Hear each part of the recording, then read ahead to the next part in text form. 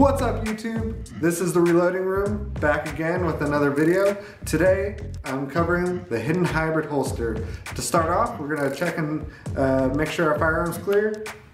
Got an M&P shield, 9mm, nothing in the magazine. Chamber is empty.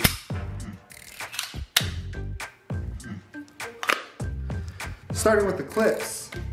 They come standard with these metal clips and they work, they do the job. I replaced them with these little Kydex clips. It's got this, this inward hook which works great. It secures great to the belt. And another thing about these clips is the way that they are open like this. They allow you to carry inside the waistband and tuck in your shirt at the same time.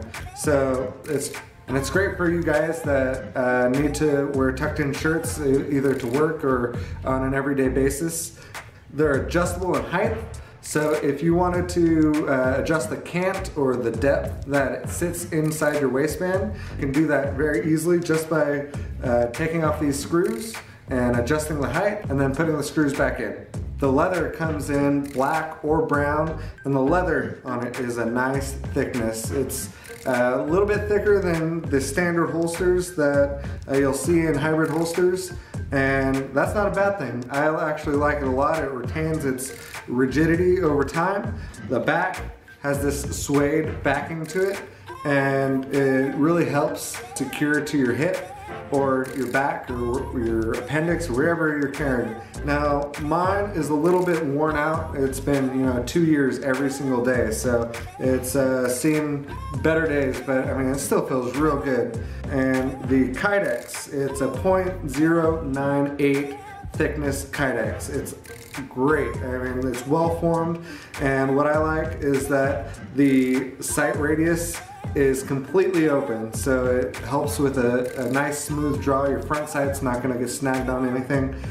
And the Kydex is retained by these rivets here on this side, as well as uh, tensioning screws on the uh, trigger guard side. And that allows you to adjust the tension.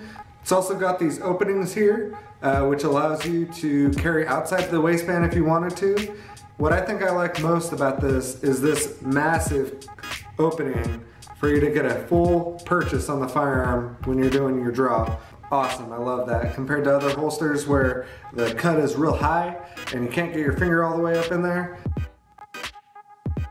it's very helpful.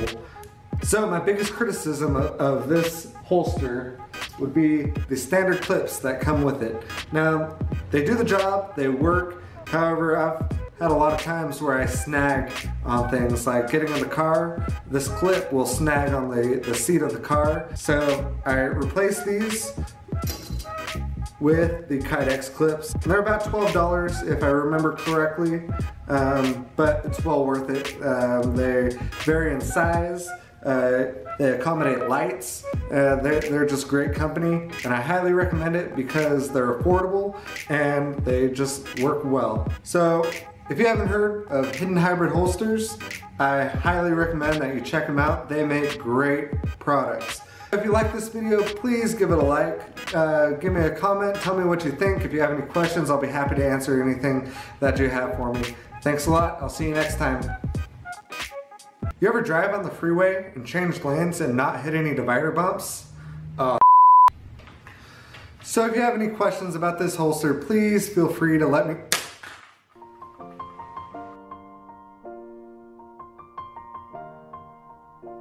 It's been a long day without you, my friend.